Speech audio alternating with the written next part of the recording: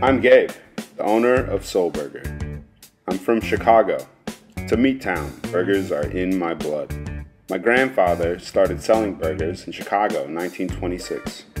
Goldie Burgers. It's still there. My wife, she's from Vietnam. She's the power, the finesse, the style. John, my partner from Toronto, another great meat town. He's also our on site poutine inspector. My wife, my partner, and I started this journey about three years ago. Our beef is 100% USDA choice, ground in house daily. We have a strict ratio of 80 to 20 meat to fat. We trim all the sinew, we trim all the tendons. We want that tender, juicy beef experience. A few things that separate our burgers.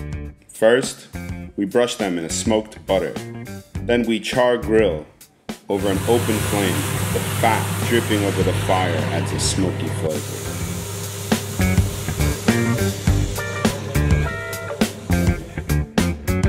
Buns are pretzel style to hold up to the massive patties.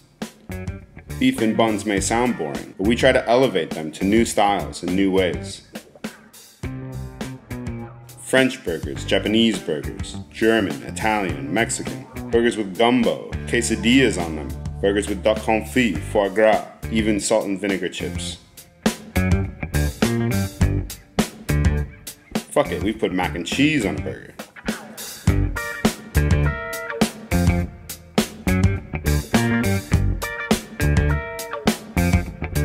Don't forget the beer.